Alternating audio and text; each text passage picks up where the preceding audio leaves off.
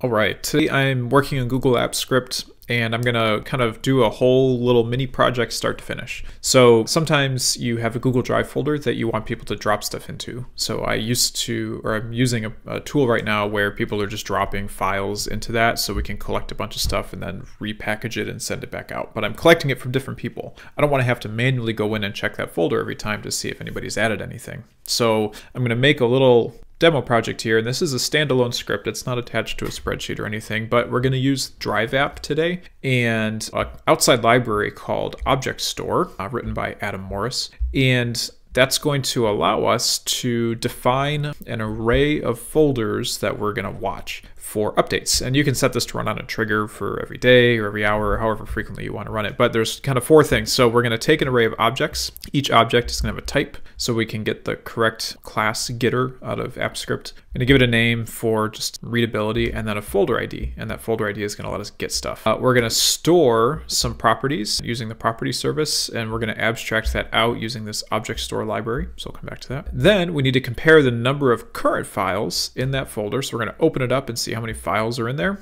and then how many were stored in our properties. So when it runs, it's got something to check against. And then I'll show you how to send an email to yourself using Google Apps Script in the editor. So again, as always, if you just want to see the completed code, you can get that from the description. I've got it saved there. Now, remember, like all of this stuff is kind of, it's just, it just works. It's not something that's really robust. And if it breaks, I'm not really going to dive into problems, but it's all just through your account. You're not sharing access with anybody. Uh, so let's define a couple functions. So let's do, call this main. We want a function to check the type of things. So this helps you extend out if you're watching a file, maybe like a spreadsheet, and you want to see if there's new rows added. So we're going to do function check, uh, what do I want to say?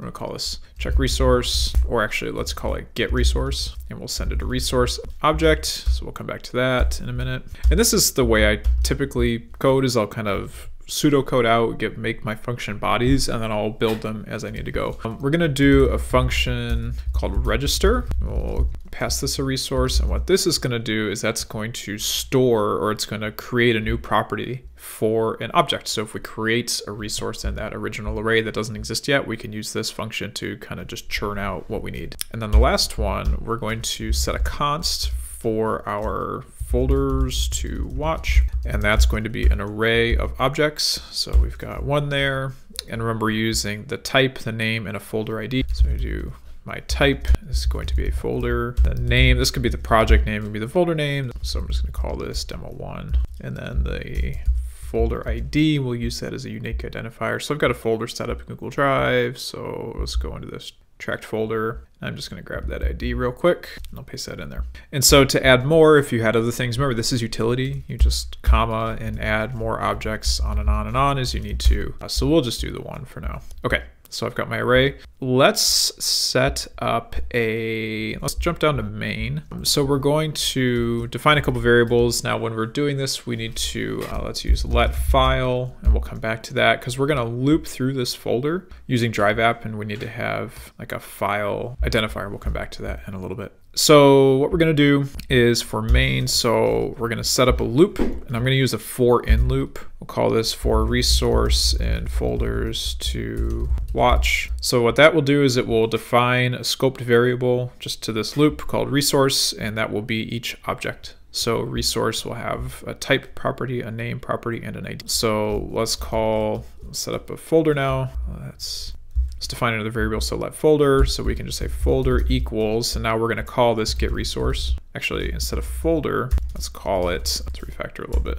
For item and folders to watch, we'll call this resource. Let's be generic with it in case we had files at some point. Resource equals get resource, and we'll give it the item. So now in get resource, we need to check a couple things. So we want to check the type. So we're going to use the type key, the type property here, and we'll access it and return that thing using Drive App. So to get the resource, we're gonna just, I'm gonna use a switch statement here. And so the case would be, and I want the resource type. So if the case is folder, we're going to return drive app. So drive app gives you access to drive things and we're going to get folder by ID and we'll resource ID. So remember this resource has got a folder ID right here. And so what I can do is if my type is a folder, I can call the appropriate method using DriveApp. So we're going to get the folder by ID and return the actual folder object. And we can use that folder object then to loop through and get the files inside that folder. Um, and so let's throw one more case in here. So let's case file. So if I were to add an object um, and we do like a type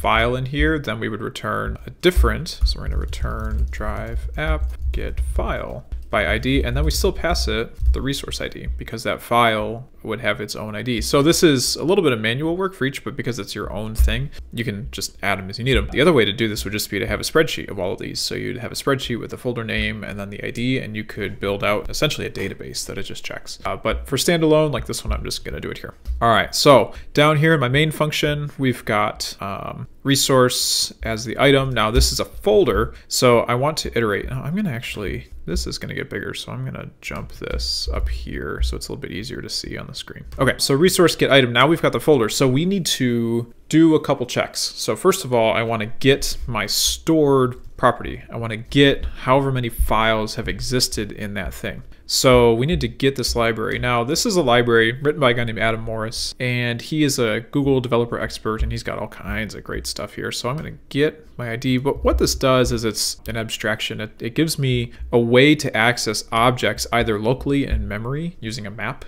which is like super fast. Or it lets you just put stuff in the cache or the property service. I'm gonna use that to abstract out a little bit because it takes care of permissions and it makes things, I can just define one variable. Uh, because I wanna use that, we're gonna do const store equals, actually we gotta add the library first. And then we can get some autocomplete. So I'm to paste the script ID in, we'll look it up. There we go. Let's get the most current version. And you can call it what you want. I'll just keep it as object store. Object store. And then in the documentation, we want document user. We're going to store it in the script property because there's no document attached to it. And I don't really care across my user because it's only this script accessing it. And we're going to persist key on the next execution. I'm going to manually persist because it gives me a little bit more control over when I store that data. So we're going to pass that manual true. So what I'm looking at is we're to do our manual store. We're to create one and we'll use that manual true key. So object store create. It's a script based and we need an object. I think it was just manual. There we go. Manual true. Okay. So now I've got a global store object and what I can do for the resource, get the resource, uh, because we're in the loop, I want to check to see if there's a store first. So let's do let stored equals um, store, and in this library, there's a get method. And all I want to do is store data based on the key, the folder key, because those are unique already. So I can do store get and what this is going to do here, let's come up and make some notes. So we're going to store the count of files in a folder by folder key. So this would be one, two, three, four, A, B, C, D is my key, and then the count would be zero. That's an example of what we're going to store. So I want to get the resource ID. So remember, we're looking at this resource is my thing. Actually, instead of resource ID, let's do item ID because that's my object. That's what I'm taking here. I want to store by that key. You could do it by resource ID, but then you'd have to access with the files. So we're just going to do it this way with my predefined object. Um, so let stored is stored get. So if if stored doesn't exist, it'll return undefined if it doesn't exist. Let's do, we're going to register. So this is my function here. It's undefined right now. So we're going to register the item and let's pass it the item ID and it will return, I don't want to do this. So what I'm going to do, so I know I want to return store get, eventually want to get that. So we need to store set resource ID and we're just going to set it to zero. Okay, resource file. And we're also going to stored up here. Okay, this is kind of the danger of coding live. So what we're doing is I've again defined a variable already up here. So let stored, we're going to set stored right now to get item ID. So if it exists, it's going to give me a, a count. So let's just do stored count. Let's rename this. I'm going to rename this symbol. Actually, okay. So if you've not used the new editor, so we're going to rename this symbol from stored to stored count. So it's a little bit more and it, boom, updates everything, which is great. So my stored count is going to be stored get in the item ID If that doesn't exist in my properties or in my cache or in a local map, it's going to return undefined. Okay, so if it's undefined, here we go. If stored count is undefined, I want to set stored count to register this thing. So in register, I'm going to pass it the ID. We're going to rename that ID because that's all I'm sending it. I don't need the whole resource to go. I just need the ID to go. So we're going to set an ID and we're going to give it a count of zero. You could also be more explicit with your object because it's just a count right now. I don't really care. And then I'm going to return store get the resource ID. Before that though, because we're in manual mode up here, we need to store.persist. So we'll save it there and then we'll return this resource ID. Great. So now stored count is set to that that count. So it should be zero because I've set it to zero. Now, if stored count already ex exists, that's just gonna be some number, whatever number is in there. Okay, so for the item, we've got the resource. Remember that's a direct reference here. So we've got a folder. I have checked my stored count. Uh, if it doesn't exist, we're gonna register that thing. We'll save it and then we'll return it. And I don't want resource ID, I just want ID. And now still in the loop, we actually need to check. So in Google Apps Script using the file iterator, when you access a folder, uh, I'm going to say resource get files. Now the autocomplete's not going to work here because I'm returning a reference to that thing. It doesn't know what what I'm returning. So I've used the documentation a ton of times to get this, but when you do get files, we're to do let file. Actually, I think I've already defined files. Let's do files and file. All right, we'll talk I'll explain that in a sec. So we're going to do files equals resource get files. This is going to give me a file iterator and in Google Apps Script, I'll show you. So if you just search drive app file iterator, it's essentially, it, it's, an iterable, it's an iterable that handles moving through that folder. Uh, so this file iterator, we're going to pretty much take this structure and we're gonna update the count of files. I don't really care what they're called or anything. I just wanna know if there's new stuff in there. So back here, so files is my iterable and in the documentation, you use a while loop because files has next will return true as long as there's another file in the folder as it iterates. If there's not, it returns false and your loop will exit. So while files has next, uh, we need to call files.next to iterate. We need to tell it to move to the next one. And all I want to do is count plus plus. I haven't defined count yet. So back here at the top, let's do, or no, yes, no, that is what I want. Let count equals zero. So we're going to start a new count and we'll compare it against our stored count. So while files has next, upgrade or update the count from zero to whatever an iterable. So now that we've got count set, and we actually don't need this file identifier anymore. And now here's where we finally get to the check. So we're still inside of this for loop. So if count does not equal stored count, let's do console log and we'll, we'll run a quick test.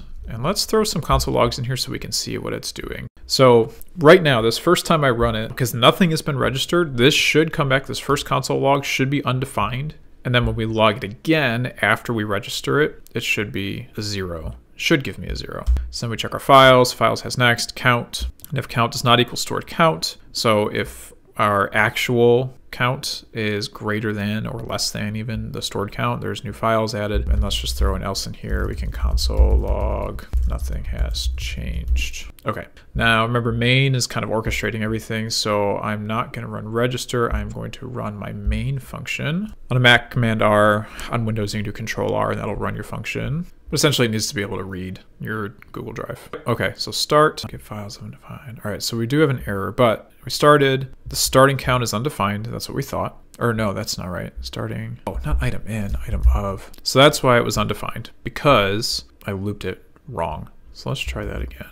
Okay, here we go. So start, that's, so now we're looking at line 19. Starting demo one, which is the name of my folder, so that was right. I have stored as null, because there's been nothing stored. It was undefined, or it's so it's not undefined. It's null. I was wrong on that. But then when we store it now, console log stored again, and it's set to zero. We run through console log. There are, are new files that that did not happen because nothing has changed. Our count is equal to our stored. Now, if I run it again, this stored null should go away. We'll see stored zero twice. Let me run this. There we go. So store to zero, store to zero, nothing has changed. So now what we need to do is handle this new files are added. Because if I don't update my cache, if I don't update my object store, then it'll send you an email every time. It's not gonna actually update. So we're gonna do a couple things. So if count does not equal store, this is triggering whatever changes. There's new files added. I want to do store set the uh, item, item ID, and we wanna add, change it to count. So we're going to take my thing, the ID of this resource we're currently using, and we're going to set it to this new count variable. And that will update the, the, the store for this execution, but then I want to do store persist. And that will write it to memory for long-term long-term memory. Okay, so let's go to my Google Drive folder and I'm going to add a Google Doc.